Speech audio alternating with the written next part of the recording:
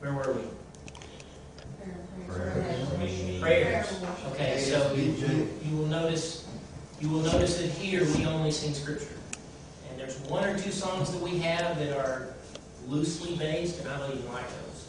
I wanted them out of alignment for a long time. Even though they're loosely based on scripture, they don't, they're not word for word. Okay? And so as we get new songs, we're gonna, we're gonna phase out a couple of those. Uh, and there's a reason for that. And, and the, the, reason is because we want everything coming off our lips to be sanctified. The only way we can guarantee that it's sanctified is by that it came out of the mouth of Yahweh. Okay, so um, so we sing the songs. We sing songs that are in the scriptures, and there's many of them. Tim's Tim's song.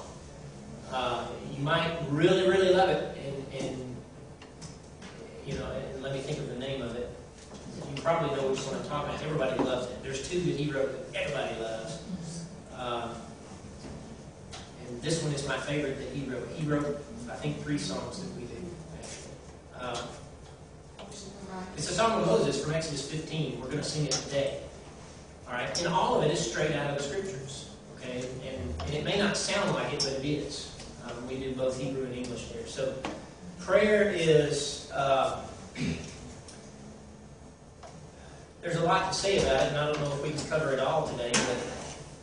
Uh, as I stated when we started, it's not something that's commanded, but it is, it is customary. And we talked about this last week. Customs can have the force of law. Did we talk about that? It can. It, it is so strong in a community that everybody is expected to do it. That's what a custom is. Okay. And so, in this body, we expect people to pray. When they don't, it's disappointing. When you're not, when I hear that you're not doing the daily prayers, it's disappointing. Why? Because you're dead, you're dead weight on the body. If you're not doing the daily prayers, if you're not fighting the battle with us, you're just riding the herd. You know, you just, you just, you know, dragging everybody down. So. Uh, we try to encourage everybody to do the daily prayers in some measure. That doesn't mean, you know, and in our siddur, the daily prayers are pretty lengthy. Well, I don't do them three times a day. I do most of them in the morning, some of them in the afternoon, and some of them again at night. On, on when I have time, I do every one of them. Okay, but the idea is that everyone is doing the custom of praying three times daily.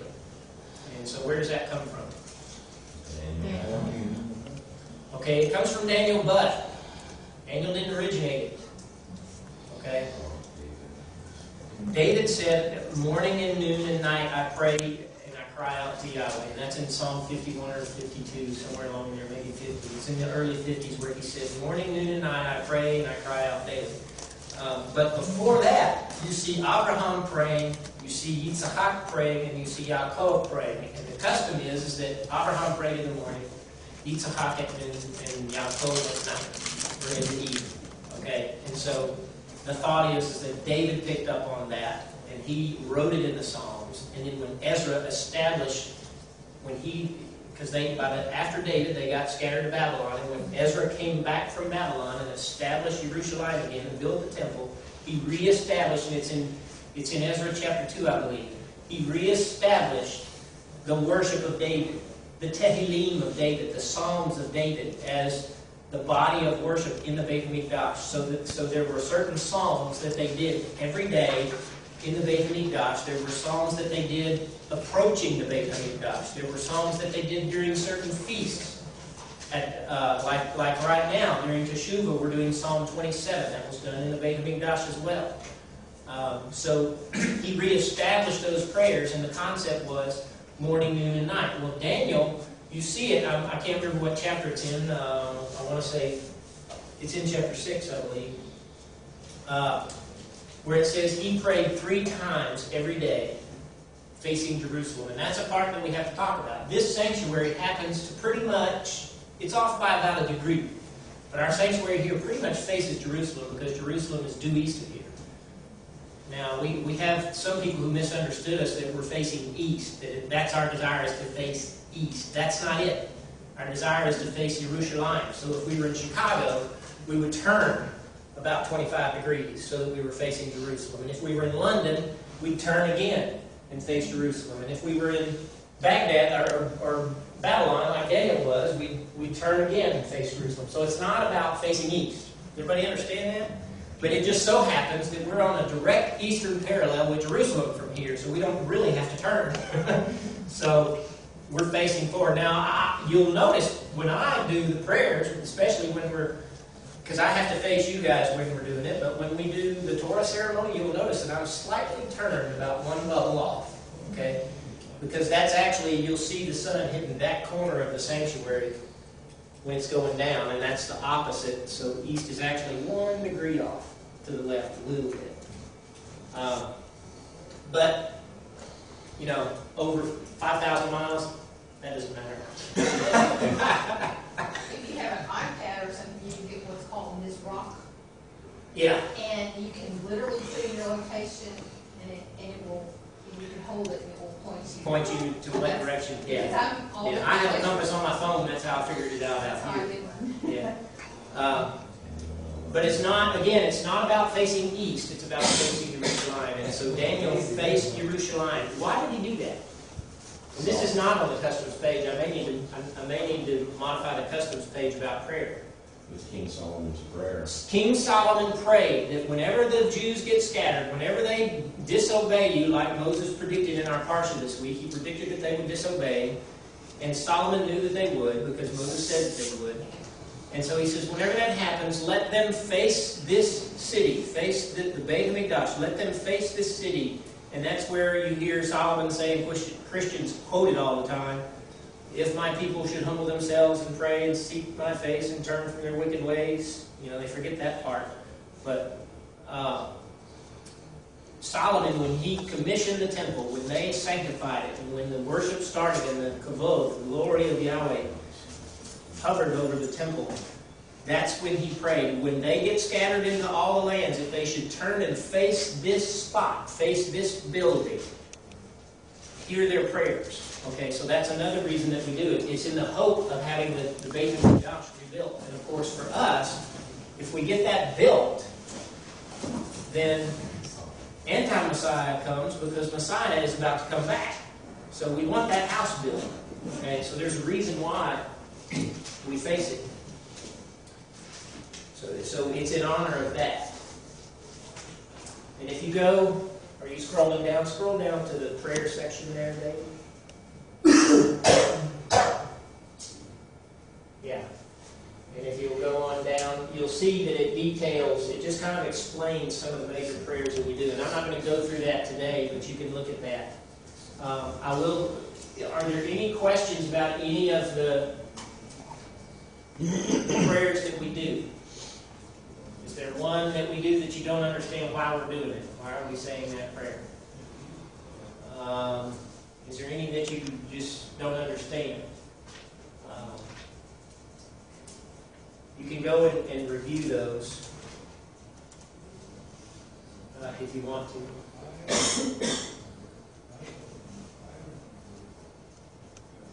Okay, so now let's, uh, you can scroll on down to Kippah if you want. So we've talked about the Talit, we've talked about prayer. The Talit is for prayer.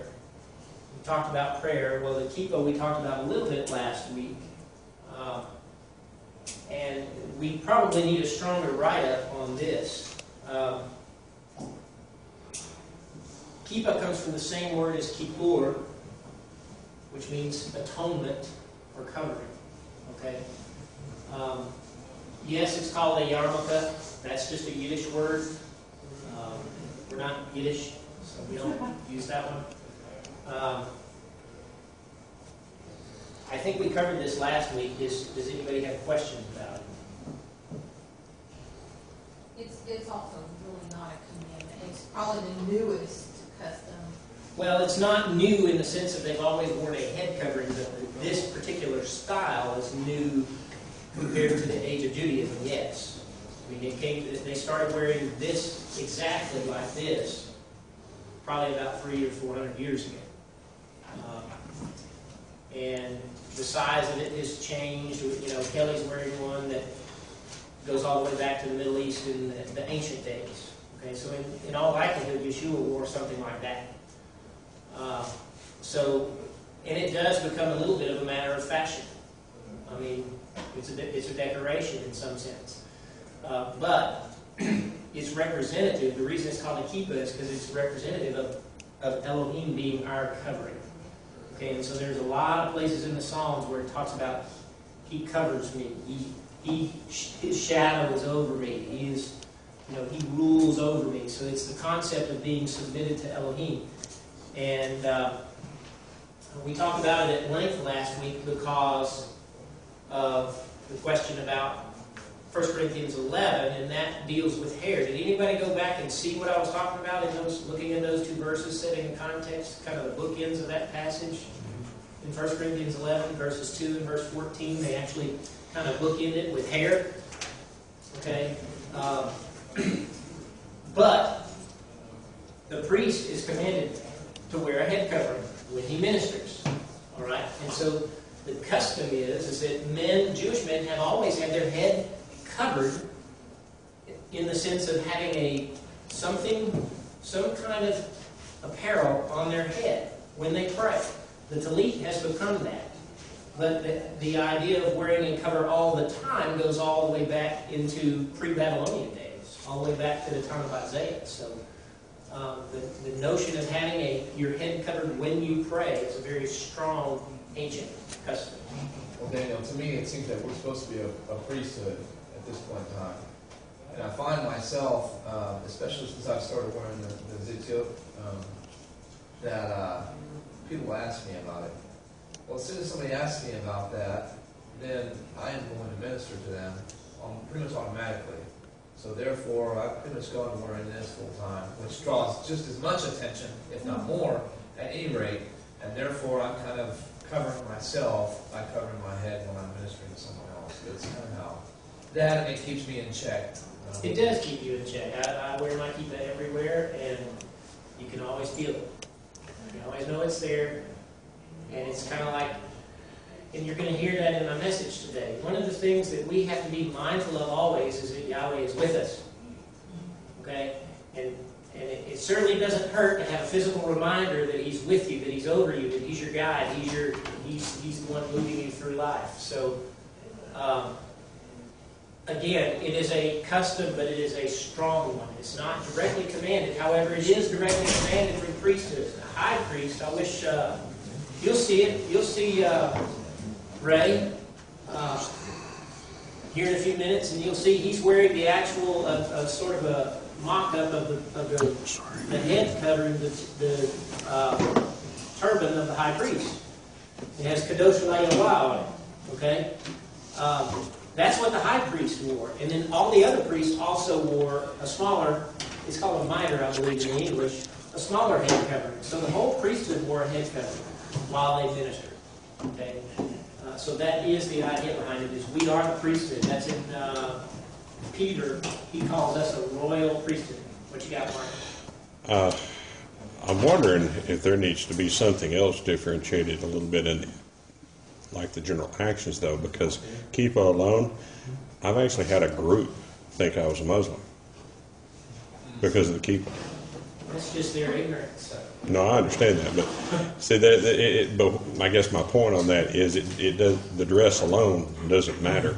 There also has to be some product of the, the dress that backs it up. If one is going to start doning that sort of thing, I'm not understanding what you're saying. there's a real fine line between how the two groups act between Jewish and Muslim when it comes to how they walk their faith. There, there are so many similarities because they do have similar roots. Uh, It's not just because they have similar roots, it's because they are a fraud. well, meant to look like the truth. So I get that. Things of truth and put them in their religion Right. and wrapped it in a fraudulent. No, I get that. The rest of the world, I don't I think, think I understand what does. you're saying. Our behavior, y- Yeah. just wearing a kippah is not doing anything Exactly, for you. It's- exactly. It's, it's helping you if you are mindful of why you're doing it. Right. Instead of just, I'm, I want to look cool and be Jewish. If you're mindful of why you're doing it, then it does help you. Right. If, if all you're doing is slapping a kippah on for the sake of wearing a kippah, then it's, there's no sense in doing it. But even in my explanation of why I do, you know, I, I, can, I, I, I lean towards the side of, of Jewishness because I understand and I explain that's what God chose. So it's good for me too. But even beyond that, uh, it, it's also something that I have to take on as a recognition of Messiah over me, not just because it's a, a cultural thing. And that's where I, I think, in like the way he was talking about, about witnessing, you know, that I can kind of lead that into the whole idea about what, what's the difference between being a Jewish person and being a messianic believer and the covering of God over me. And I can kind of swing into that because of the dress and use it as that, that witness. All right, so why a Siddur? So we, we, we've gone over to Kippah. Let's go to Psalm 8 right quick. I want to see, I had a reference there, so let's go there. Before we do the Siddur thing.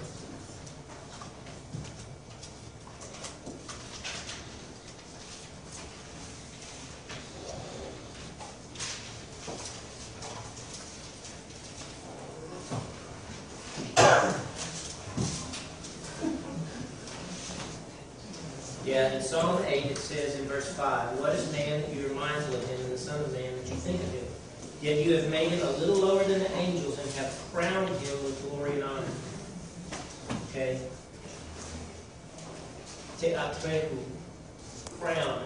Uh, uh, that's why this particular version of a head covering looks the way it does. It's kind of symbolizes a crown. Okay?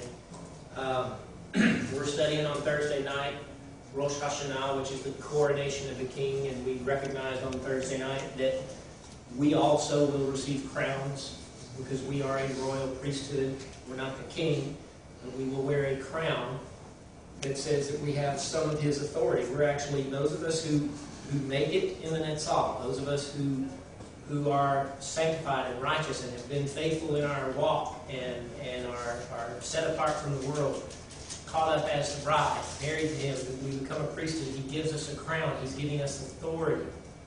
Okay? And the thing that we talked about on Thursday night was don't let anyone steal your crown. Messiah said that to us. Your crown is waiting for you up there. But if you allow this life to get in the way, you don't get it. Okay? And so this helps me remember when I'm out there in this ugly world and the temptations that Hasatan is going to bring and the, the deceits that he is going to bring, I have a crown waiting on me if I will stay faithful to Messiah Yeshua. Otherwise, I get to go through the tribulations just like everybody else. I don't want to do that. Okay? So that's one thing that it's done for me is, is like Kelly says, it does. It makes you aware of who you are. because people do look at you and you know what they're looking at. You know? Especially if you have both the, the TTO, which are, are holy and commanded, along with this, then they're like, okay, you're peculiar. and we want them to ask questions. Oh, All right, so why a Siddur? It's another part of prayer. Order. Siddur means order. It comes from the word seder, which is where Pesach Seder, it's the order of the Passover. Okay? A Siddur is a book that establishes the order of worship. Okay? It's the order of the prayers. It's the organization of the prayers. All right? When in Messiah's day, they didn't have the ability to print books and hand every congregant a book. So what did they do? They memorized them.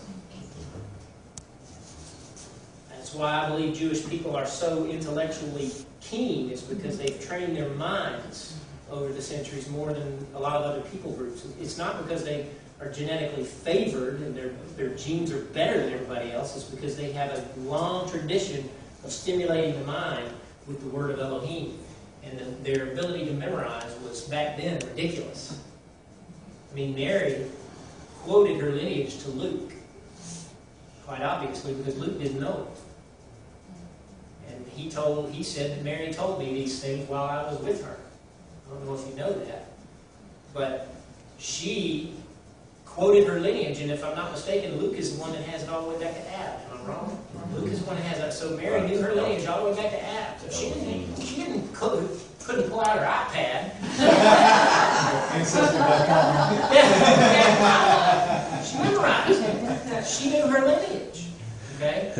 And so they would, they, you know, they didn't have cell phones hanging off their pockets back then to distract them all the time. They didn't have a television sitting in their house to steal their time away while they were sitting at home. They pursued the word of Elohim and they memorized things. Well, they were commanded to speak of it when they rose, when they went about their business, and when they. Lie down, when you rise up, when you sit in your house, and when you walk on the way. that's what they talked about. That's what they did. They had the G pad up here. Huh? They had the G pad up here. That's right. Yah The yaw pad.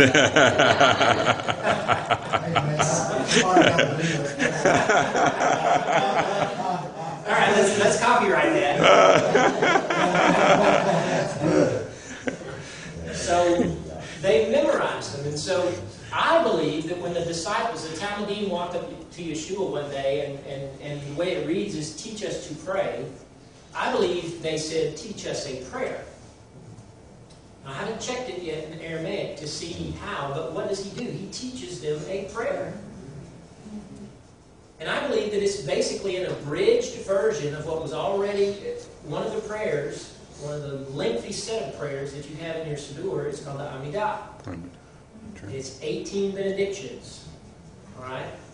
That was already in, in circulation, if you will, back in Messiah's day, but not written down.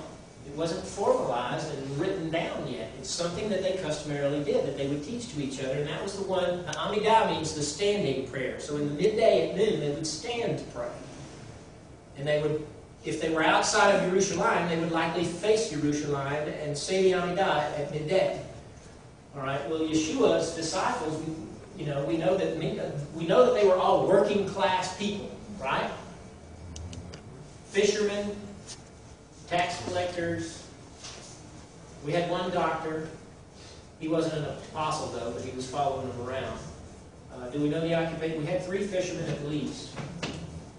Well, actually, when you came to Peter and John and James, they were all in, in the one village, and Bethsaida, so they were probably all fishermen, because that was a fishing village. In all likelihood, most of them were, but we know that Matthew was a tax collector. So they were they were working class people. They had jobs, right? Uh, and so I believe that they were saying, you know, maybe they had trouble memorizing the Amidah. I haven't memorized it yet, and I've been praying it for years. Okay. However, the prayer that Yeshua taught the Talmudim, I got it memorized in Hebrew and English. I could probably do it in French.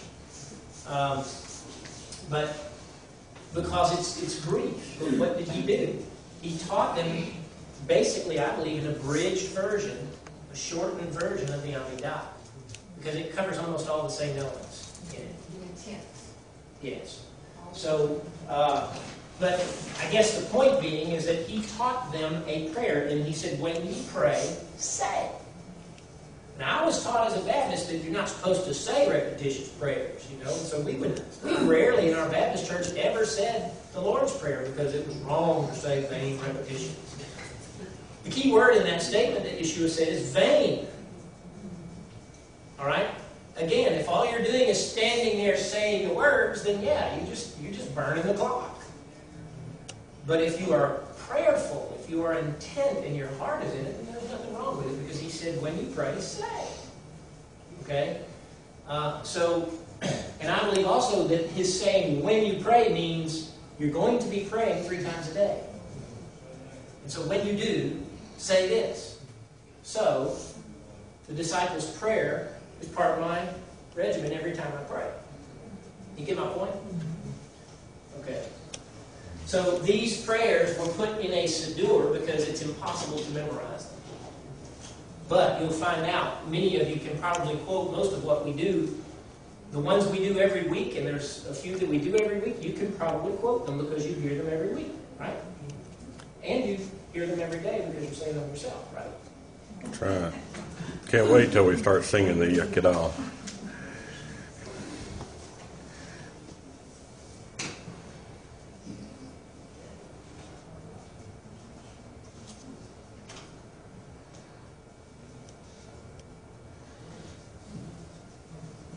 Is this material that you guys want to cover in here? Because it's on the website.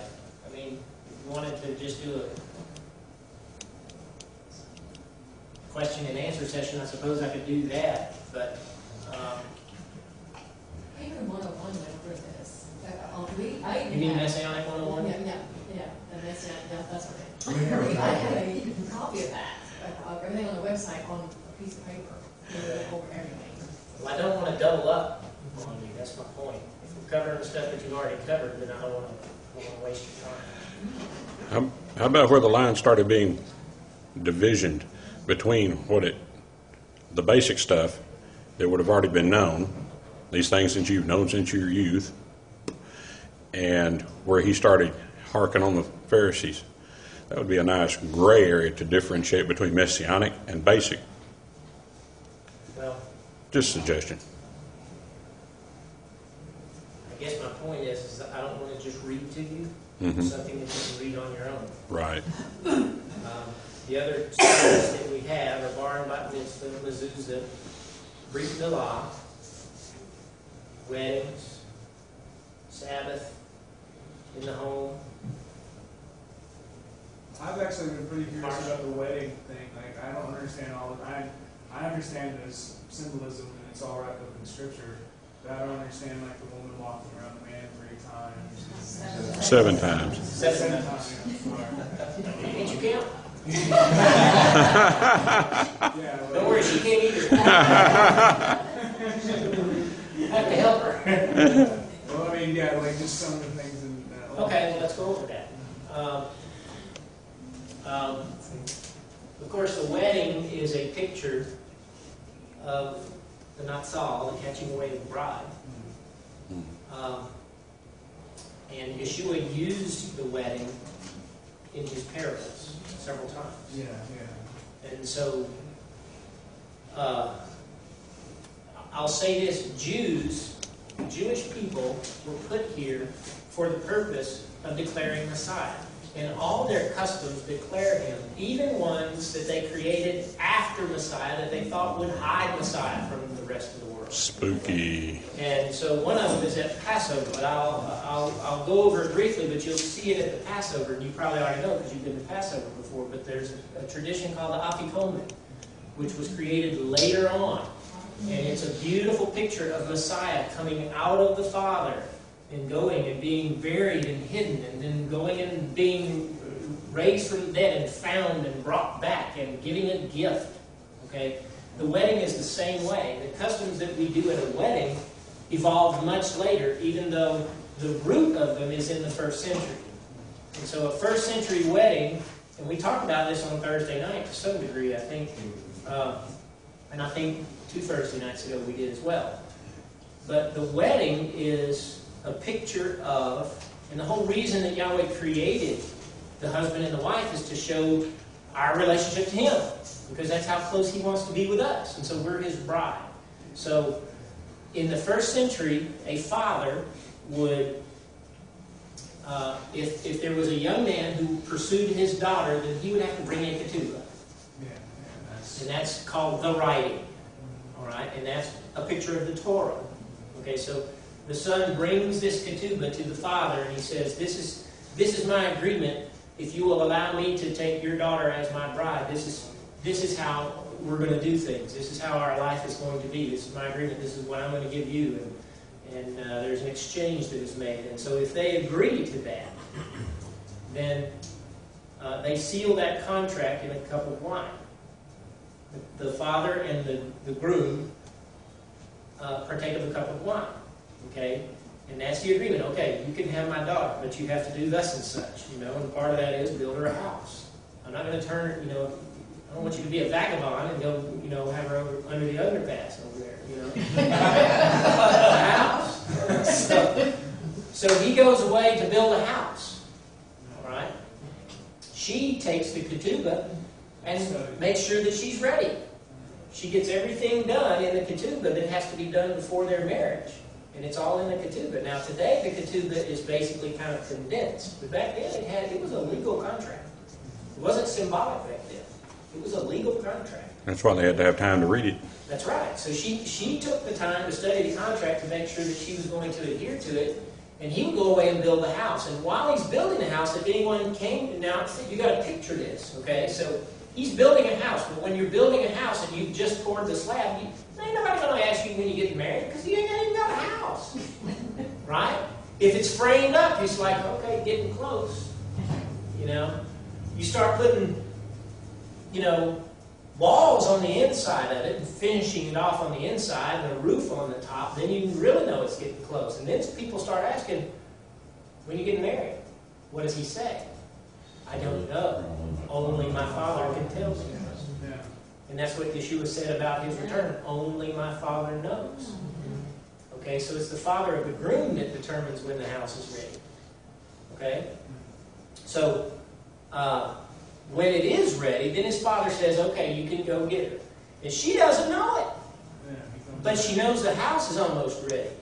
You know, she probably goes by it every day.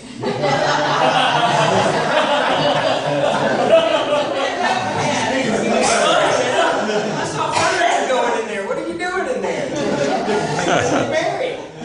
Okay, so she's ready. All right. Theoretically, she's she's prepared for the wedding, and now Dad has told his son that he can go get his bride. So in the middle of the night, he gets up and he goes and gets his bride, and he goes with his two best men. They walk together. He goes halfway, and they go on. And he waits. And they go on and they get close to her house and they shout. And usually it's in the middle of the night. Usually it was midnight. And they would shout and wake her up and scare the way out of her. And all of her bridesmaids, all of her girls are there waiting because they know it's close. You know, and so they all get up and they get her dressed and they get, you know, their lamps lit and they go out and they meet the, the two friends and they take her to him and they go to the house that they had built together. And so they have the wedding in the house. And then within the house is the bedroom, the cheder. It's also called a chuppah. Okay? In the scriptures, in Joel 2, it's called a chuppah, and in Isaiah 26, it's called a cheder. One means bedchamber, one means uh, concealed room or something like that.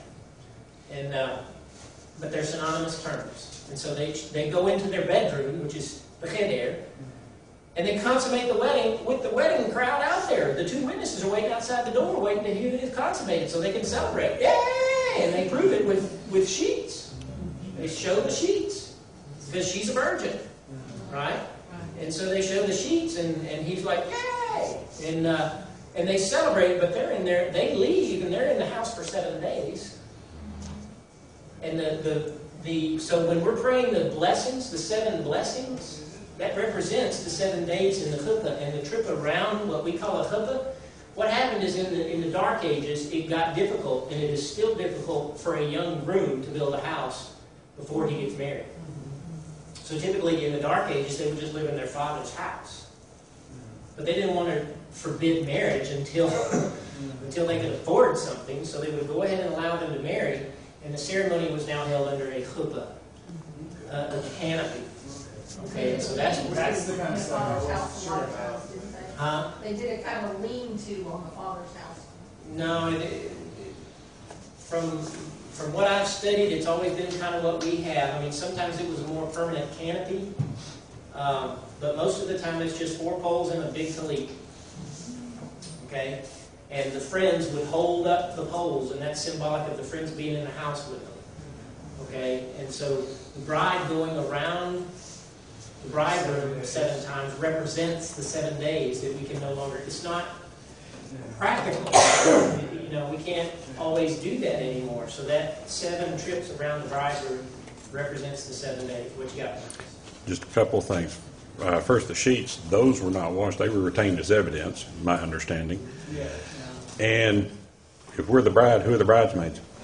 Huh? Who are the bridesmaids filled with the Holy Spirit? The oil.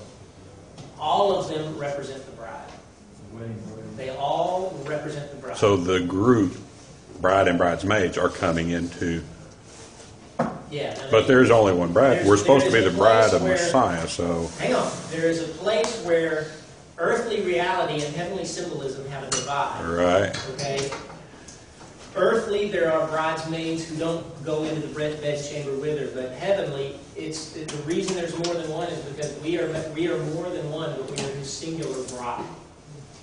So therein lies that whole thing about the 144 and then a number behind them that couldn't be counted. Maybe that's No, that Let's separation. not get into that here. That's not that's Okay. 144 has nothing to do with pride. That has nothing to do with the bride. Okay, but, well, I was remembering the ones outside, the ones that couldn't be counted, The maybe. ones who weren't ready could not be, could not come into the wedding, and they mm-hmm. tried to get into the banquet later, and they were even rejected from that. Oh, that's I believe true. that's the group of people we talked about on Thursday night, Yeah, who know Messiah, but don't follow him. And who say, I'll take care of it in the tribulation if I have to go through it. They will be deceived. Elohim will force them to believe the lie, mm-hmm. and they won't get into the wedding nor the banquet. Which gets back to the fact that there's a seven-year tribulation. The wedding happens at the beginning of it, by the Netzal. We go up into the upstairs where Yeshua said he's, he went away to prepare a house for us, right? right. I go to prepare a place for you. That's wedding terminology. So he has been up there. He doesn't, you know, he's a carpenter, but heaven doesn't need hammer and saw. What he's talking about is he's preparing us. We're his edifice. We're his building. And we're supposed to have time to read his ketubah. That's right. So it's all linked together. Do you see why it's mm-hmm. symbolic? The earthly wedding was symbolic of things. Mm-hmm. Okay, but he's been building his house by building us. Are you with me? Mm-hmm. Right. Okay. So when he calls us up there, and the house is prepared and it's ready, and, and the wedding is consummated, and we become priests, he gives us a crown. What's going on down here is all of this nighttime stuff Mm-hmm. bad stuff, evil stuff. That's why it's done at night. That's why the wedding happens at night. Is to, to, because there's bliss in the in the chamber of the bride and the groom, but out outside of that, there's night, and night represents evil in the scriptures. Anytime you're reading about nighttime, it's evil. Okay, so uh, all of that evil stuff is going on down here. It- It's at the end of the seven days where they have a banquet, and all see the only people that are coming to the house thing are the intimate ones, their family and their dearest friends are coming to the house. But afterward, they throw a banquet, and the whole town comes. Okay, everybody comes. Well, that's when Messiah comes back with his bride. And Revelation 19 says very clearly there's a whole bunch of people on white horses right behind him. And they're not angels. So who are they? It's us. And so we come with him and we rule over the people who come to the banquet. And the ones who thought they were coming to the wedding but weren't ready don't even get to go to that. That's scary. Yeah. There's also a scripture in the Bible about looking circle the mansions, and I can't, I'm trying to find it, I can't find it. Um, it says, shall, shall a woman surround a man? And again, it's that, it's that picture of the woman surrounding the man. Yeah. It was interesting, I was talking to a, a person who's not following Torah, and we were reading some stuff together, and all of a sudden it came there. And I'd never seen that scripture before, but I knew what it was, you know, because I'm following it. And I said, "Oh, I know what that is, and she really got excited too. She said, wow, how do you know that? I was following it. So, uh, Will, is that everything? Did you have a question? Yeah, yeah, well, because that was the basic thing, like the chuppah and, and, and the, the flower that was going around the woman, and I get it, I mean, we're condensing, and, and it's still symbolic of what was the reality, physical reality back then. Because I understood the bride chamber stuff, and, and then the, the father letting you know when the house is ready, so I just didn't understand the actual custom to have these days. Okay, so we sign a ketubah, and we do the, we, we- we're taking the wine right there. Usually that's done ahead of time, but we do it in the wedding ceremony. See, there's, in Judaism, there's a betrothal ceremony, which we don't do typically, because you guys decide on your own who you're gonna marry, and you don't go to mom and dad, you know. Uh, It would be interesting to see our kids begin to do that, you know, to go through a betrothal. you know, Keep them from doing things they shouldn't be doing, you know. Um, and then uh, the trip around the chuppah is probably, or the trip around the bride room is probably the most unusual. Um, so, what do you guys want to do with this class over the next few weeks? Then? Hey, Daniel, maybe go into some specifics about when you posted up that we're Mishnaic instead of rabbinic. That might be something that, I do think we need to cover that because that seems to be a perpetual question. That's what I was thinking. And uh, uh, so, why we do Passover, when we do it, why we do Yom Kippur, when we do it. it would be helpful for us to, to, I would hate to use the term arm myself, but because that's one of my, probably runs, but when those Okay. questions come out before, or prepared. covered that in brief on Thursday night, I think, real briefly. Mhm. But I found TorahCalendar.com and it explained all that where, where they see the moon. And it was exactly where we were. It was really exciting. I just found it this week. And you could put it, see when they would see the new moon right at the Temple Mount when it was possible. I knew it was exactly when were doing things. Excellent. I it. So yeah, we'll we'll go over uh, that kind of thing starting next.